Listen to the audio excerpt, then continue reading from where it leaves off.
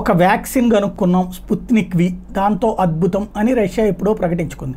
అది మా దగ్గర ఎత్తుకుపోయింది అన్నటువంటిది యూకే ఎప్పుడో చెప్పింది ఆస్ట్రాజెనికాకి సంబంధించింది. దాన్ని అప్డేట్ చేసుకుని వాడుకున్నారు వాళ్ళు అన్నది. ఓ పక్కన వ్యాక్సిన్స్ అందరికీ వేసేసాము దాదాపుగా సెవెంటీ ఫైవ్ పర్సెంట్ అని కూడా చెప్పింది.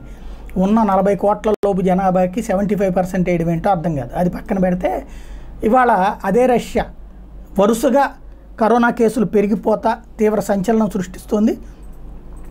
తాజాగా రోజుకి ముప్పై మూడు వేల కేసులు తక్కువ కాకుండా నమోదవుతున్నాయి. Only thirty two percent Russians of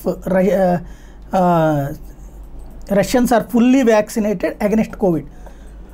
వాళ్ళు చెప్పింది నిజం కాదట కేవలం ముప్పై రెండు శాతమే vaccine వేయించుకున్నారట a lack of tough restrictions has allowed the virus to spread unchecked. The Kremlin continues to avoid the implementation of strict restrictions అక్కడ బలవంతంగా మేమేం చెప్పం మీకు కావాలంటే వ్యాక్సిన్ వేయించుకోండి కోవిడ్తో ఇట్లా ప్రమాదకరం అంటే ఎవడూ పట్టించుకోవట్లేదు.